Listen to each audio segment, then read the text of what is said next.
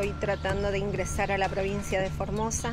Todavía sin respuesta, estoy parando en una estación de servicio de Florencia con mi sobrina y su bebé. Así es como estamos desde hace varios días. Por favor, señor ministro o gobernador, dejen que nuestros familiares vuelvan a casa. Esto es parte del golpe blando que la derecha argentina está, está llevando adelante. No se justifica ni se quiere reconocer de que haciendo las cosas como corresponde se puede tener este estatus sanitario. Si este estatus sanitario hubiera sido el de la cava, te imaginas que estarían pidiendo un premio Nobel para el, intendente de, de la capital. No toleran de que Formosa tenga 166 casos diagnosticados. Son por lo menos 4.600 personas que están varadas en este momento en fronteras internas de la Argentina. Internas, repito, de la Argentina, tratando de llegar a su provincia, tratando de llegar a Formosa. Vamos a hablar con María Bordón. Ella está varada en este momento en la frontera con Chaco. María, ¿cómo estás? Buenas tardes. Hola, buenas tardes. Bueno, buenas tardes. María, contanos tu historia. Contanos hace cuánto tiempo estás ahí. Hay un grupo de cuatro muchachos que ellos están hace 48 días y nosotros siete llegamos hace 15, 15 días ya.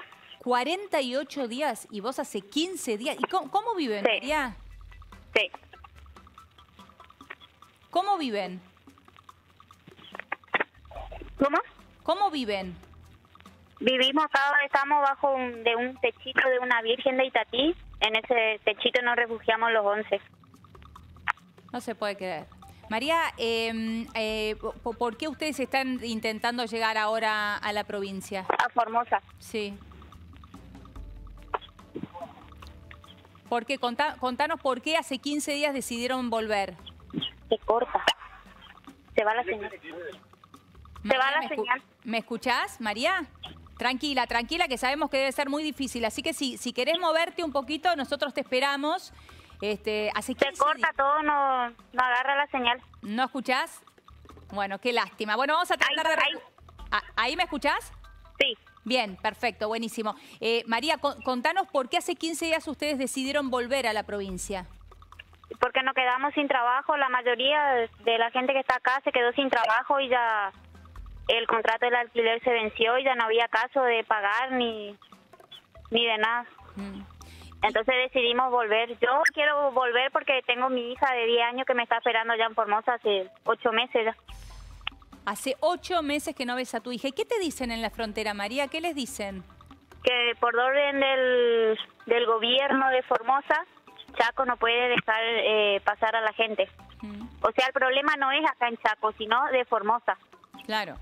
Claro, lo que te dicen en Chaco es si nosotros los dejamos ingresar, después ustedes van a quedar varados en Chaco porque en Formosa no los dejan. Sí, no, pero igual en Chaco no nos dejan, nos mandan otra vez para acá donde estamos. Claro, claro. Eh, Ma- María, em, vos estás con otros familiares, tenés forma de comunicarte con tu hija, podés hablar con ella, llevarle tranquilidad. Sí, hay días que le hablo y hay días que no, que no, porque acá no agarra la señal tampoco como estamos al, al costado de la calle, no da casi señal. Claro, claro. Ay, Sí. María, eh, bueno, de- desde acá queríamos escucharte, sabemos que tenemos muchas, tenés muchas dificultades para, para poder hablar, te agradecemos enormemente por este tiempo que nos das, este, vamos a intentar desde acá, bueno, por lo menos hablar, este, poner este tema, te prometemos bien en agenda para que ustedes tengan al- en algún momento una solución. Te mandamos un beso grande. Gracias, que Ah. estén bien. Hasta luego. Hace 15 días duerme María al costado de la ruta. Hay otros ahí que duermen hace 45 días eh, al costado de la ruta. Eh, los refugia una Virgen de Itatí que está eh, allí nomás. Digo, ustedes vieron las condiciones climáticas, lo que pasa la noche. Ocho meses sin ver a su hija. Y el que decide esto es el gobernador modelo de Alberto Fernández, Gildo Infran, como ustedes ven, que gobierna Formosa desde el año 1995. Eh, está en el séptimo mandato en curso en este momento. Antes fue vicegobernador eh, durante ocho años, o sea que los 25 años que lleva ahora ejerciendo como gobernador hay que sumarle ocho años que fue vicegobernador. También fue diputado nacional. Estudió veterinaria en la Universidad Nacional del Nordeste. eh, fue militante estudiantil del maoísta Partido Comunista Revolucionario. Eh, ustedes recuerdan muy bien cuando el presidente Alberto Fernández fue eh, al comienzo de esta pandemia a visitar Formosa y se dieron ese abrazo que todos hemos criticado y allí lo nombró como el gobernador modelo. En Formosa, ¿cómo está la situación ahora? El 95% del presupuesto proviene de la coparticipación federal. Lo escucharon bien, el 95% del presupuesto. El 41,1% de la población formoseña no tiene agua potable. En este momento hay 28.000 empleados privados en blanco en la provincia. Es la provincia que menos este, empleo privado tiene. Después de, Formosa lo sigue este, La Rioja con 30.000. Son solamente 28.000 empleos privados. El resto de los empleos que hay en Formosa son todos empleos públicos. Claro, por eso este, estamos hablando de este nivel de presupuesto. Y atención con este dato porque em, estamos en el año 2020 y sigue sucediendo esto en provincias de nuestro país. No existe tendido de gas en toda la provincia. Escucharon bien, no es una parte a la cual no llega el tendido de gas. En todo el territorio de Formosa, en donde gobierna este señor hace 25 años, no existe tendido de gas así como lo están escuchando. Está aquí con nosotros Ricardo Burjaile, ustedes lo conocen, él fue ministro de Agricultura de la Nación y es diputado formoseño. Eh, bienvenido, Ricardo. Hola, Elio. Un placer tenerte acá. Gracias, igualmente. Este dato es, imposible. Digo, no existe tendido de gas en toda la provincia, Ricardo. Son cinco provincias que no tienen gas. No tiene Formosa, no tiene Chaco, no tiene Corrientes, de Misiones y no tiene el norte de Santa Fe. Mm. Eh, en el año 2003, cuando asume Néstor Kirchner, yo estuve ahí, en, un lanzamiento, a los dos días que asume Néstor Kirchner, nos invitan a lo que éramos dirigentes agropecuarios. Eh, iba a venir el presidente de la República y hace el lanzamiento y anuncia que iba a construir el gasoducto del NEA. Sí. Obviamente toda la culpa de no se hizo el gasoducto del NEA es de Cambiemos que no lo hizo en los últimos cuatro años, cuando en realidad había problemas muy serios en, el tendido. ¿no? Mm. Pero bueno, esto le pasa a Formosa y a otras provincias más de, nuestro país. Ahora, Ricardo, em, recién dábamos un, pequeño resumen pantallazo de lo que es Formosa, que vos conocés obviamente como la palma de tu mano. Em, ¿Puede ser, siendo el Fran, un gobernador modelo para el presidente de la Nación? Eh, bueno, cada uno tiene su visión de cuál es el modelo. Para mí, todo lo que sea reelección indefinida no es modelo. Si vos me preguntás a mí si yo quiero, obviamente si estoy en la posición creo que es porque no es modelo. Yo no tengo discrepancias solamente en este sentido en, lo político, tengo discrepancias en la estructura de la provincia. Entonces, bueno, eh, Gildo Infran es un hombre que no fue diputado nacional, fue eh, diputado provincial. Provincial. Provincial. Eh, Gildo Infran es un hombre muy fuerte en la provincia. Hay una ley electoral anacrónica que rige en dos provincias y una tercera en parte.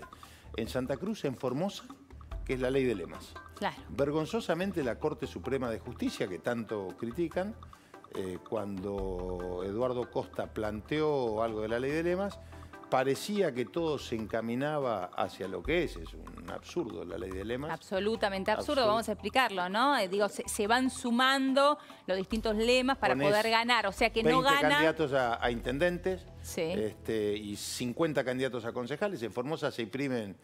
Eh, somos 640 mil habitantes, 400 y pico de mil electores y imprimen 40 millones de boletas porque eso es la ley del lema. Pero bueno, más allá de eso... Porque se suman todos y no gana el que más votos tiene. Digo, para que quede eso bien claro, exactamente. Si vos me preguntás eh, si es el modelo del presidente, yo creo que el presidente a cada dirigente que va eh, eh, lo exalta de tal manera de la necesidad que tiene de recibir apoyos. Mm. Lo hizo con Moyano, lo hizo con Gildo Infran y lo hace con cada uno de los dirigentes porque siente que no tiene respaldo.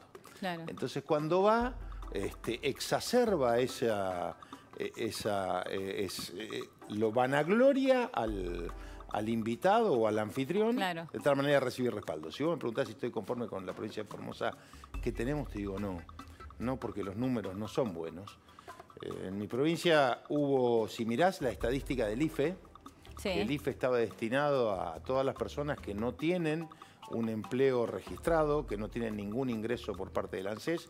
En Formosa cobraron 174.000 personas sobre 640.000 habitantes. Es decir, que si a eso le sumás los trabajadores del sector privado y si a eso le sumás los trabajadores del sector público y también tenés que tener en cuenta la cantidad de pensiones por discapacidad que no podían cobrar, entonces yo, a mí no me gusta la situación de, de, de mi provincia. Yo creo en una provincia con un desarrollo y un empuje del sector privado.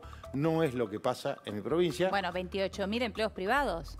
Eh, bueno, de las cosas que, que, en la Argentina pasa es que si vos mirás, por supuesto yo veo y como integrante de la Cámara de Diputados, eh, este gobierno lo que está haciendo hoy con el presupuesto es centralizando aún más los recursos fiscales. Mira. Si yo miro mi provincia, La Rioja, Catamarca, eh, y otras provincias más. Santiago es mucho más productiva, pero fundamentalmente esa, lo que hace es que cada vez hay menos sector privado y cada vez más sector público. Con lo cual todo lo que significa eh, la preeminencia del Estado y de los gobernantes sobre la decisión de muchos trabajadores es muy fuerte. Muy fuerte. Eh, es muy fuerte. Entonces, yo creo en esto, creo que, bueno, el presidente Fernández este, banca todo lo que a él le signifique respaldo y Infran es un mm. hombre muy fuerte dentro del peronismo. Ahora, eh, Ricardo, quiero preguntarte por toda esta gente, hablamos de 4.600 varados, pero era interesante, aunque sea un ratito, escuchar la historia de María, que la escuchábamos recién, para, para, poder ponernos en la piel ¿no? de ellos. Están subsistiendo hace 15, 40, 48 días al costado de la ruta, viviendo bajo de, una, de un refugio de la Virgen de Itatí hay que ver cómo se higienizan, cómo se alimentan. Digo, hace ocho meses que no llega a ver a su hija por la decisión de un gobernador que decidió que no pueden ingresar a la provincia. Yo te voy a contar qué es lo que pasa de adentro y de afuera. Sí. Formosa es una provincia hoy que tiene una situación epidemiológica muy buena. ¿Por qué? Porque se cerró el 10 de marzo, mm se cerró cuando la Argentina todavía no se cerraba y mucho tiempo después que seguían llegando los vuelos y se firmaba una declaración jurada, Formosa cerró y no podías entrar. Entonces, la, circulación viral, en Formosa estuvo casi 90 días sin, sin, sin, ningún caso de COVID. Ahora, ¿qué pasa? En todo este tiempo, lo que todos creemos y creíamos es que lo que iba a hacer el gobierno era prepararse y preparar el sistema sanitario ¿Para qué? Porque no está preparado para una pandemia. Yo escucho que a veces se critica lo que se heredó. Ningún gobierno ha preparado ningún sistema sanitario para pandemia, porque la pandemia no es solamente la cama, es el médico, es el enfermero, es todo el sistema sanitario. Entonces, cuando dicen que compraron 500 camas, le preguntas cuántos médicos incorporaron y seguramente no muchos. Pero entonces, en Formosa esa situación epidemiológica hoy es muy buena y todos la defendemos. Ahora bien, han pasado ocho meses no sabemos cuántos meses más van a pasar para que venga la vacuna. Por lo tanto, ¿qué decimos nosotros y qué le decíamos con, mm. sectores de, Juntos por el Cambio? Señores, lo que hay que hacer es, primero, cumplir un protocolo sanitario que ¿qué es? Hay que hacer PCR para ir a Formosa. Yo mañana voy a viajar a Formosa, tengo mi PCR, tendré que viajar. Llegás y como en muchas provincias hay que hacer la cuarentena, y tenés que hacerla la cuarentena. Y ahí viene el tema, si hoy a los ocho meses que hay tantos varados, bueno, lo que hay que hacer, hay mucha gente que sigue pagando alquileres de los hijos, hay mucha gente como esta que no tiene recursos, que no puede estar. Entonces, lo que hay que darle es esa solución. Si vos no regularizás esta situación, ¿cómo explota? Como el dólar blue.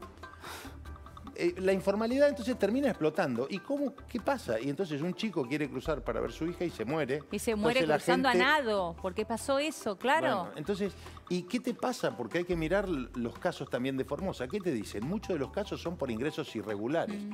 ¿Qué es mejor?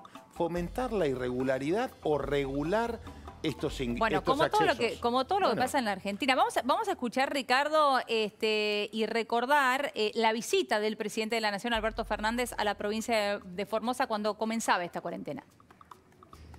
Feliz de estar aquí en Formosa. Uno quiere a las tierras por diferentes motivos, ¿no? Porque uno nació, porque uno vivió. Yo debo confesarles que quiero a Formosa por Gildo. Quiero serles muy honesto. Conozco a Gildo hace muchos años. Y a veces siento que, que la historia nos se arma más allá de nosotros. Ayer a la noche. Ahí lo escuchábamos, ¿no? Alberto Fernández. Y, y tiene que ver con esto que decías vos hace un ratito, Ricardo, ¿no? Digo, Los- cómo, cómo, claro, cómo exacerba o cómo este, exagera de alguna manera este, su, su- su cercanía o su amistad, en este caso, con, con Gildo Infran, ¿no? Bueno, tiene que ver. Hombre de Cristina también, ¿no? Muy cercano a Cristina. Sí, sí. Gildo Infran es de los gobernadores, de los tres gobernadores, que cuando se había armado ese grupo federal no se fue. Era Gildo, Cristina, eh, Alicia Kirchner y Rodríguez A. Claro. El resto estaba todo del otro lado. Mm. Pero, eh, a ver, ¿qué, qué decimos nosotros? En Formosa lo que se plantea es esta dicotomía, si los dejamos entrar, van a haber muertos. Mm. Lo que tenemos que plantearnos es qué va a pasar hasta que salga la vacuna. ¿Cuándo va a salir la vacuna? No sabemos. No lo sabemos. No. Entonces yo me pregunto, ¿qué otra alternativa que, que confiar en la responsabilidad individual y, y el impacto colectivo que tiene? No tenemos otra. Claro. Yo te conozco, te saludo a distancia, nos conocemos, Leo, y, y, este, Exacto. y es lo que tenemos y seguramente tenemos que aprender a convivir con esta situación, porque si esto dura ocho meses más, ¿qué le vamos a decir a los chicos? ¿Qué vamos a hacer ahora para las fiestas? ¿Qué le decimos a los que trabajan en, en- en los restaurantes, en los bares, en los clubes? En Formosa todavía no se puede andar, eh, no se puede pescar, no se puede ir a remar, estoy hablando, no se puede jugar al tenis, no se puede. Estamos. Entonces, hay una actividad que hay que desarrollar, hay una vida mientras transcurre la pandemia. Si queremos muertos, porque nos acusan Sí. que queremos muertos. Mi mamá tiene 82 años y mi abuela 99. Hay que ser muy loco para pensar eso. Entonces, ¿qué queremos nosotros?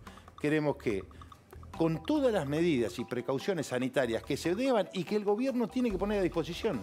Hay centros de aislamiento. Pero es hay- increíble que estemos a esta altura, Ricardo, perdóname, digo, pero es increíble que a esta altura estemos di- de- discutiendo eso. Porque claro, vos, vos me decías al inicio, mira, tiene una muy buena situación epidemiológica Formosa. Y claro, ¿cómo va a tenerla? Si la, si- si la gente no tiene ninguna actividad para hacer, si, si están absolutamente cerrados, si no dejan entrar a los propios formoseños y los dejan tirados al, al costado de la ruta. Digo, están, están tomando una decisión, está tomando Gildo Infran una decisión y el gobierno central lo permite, este, de la época de la caverna. Bueno, nosotros, eh, primero, yo creo que esta situación debe resolverse. La Sí. provincia debe, debe dar toda la facilidad. Y repito, ¿qué le pedimos nosotros? Transparencia.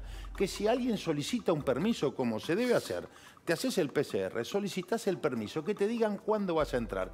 Vas a entrar el 5 de noviembre.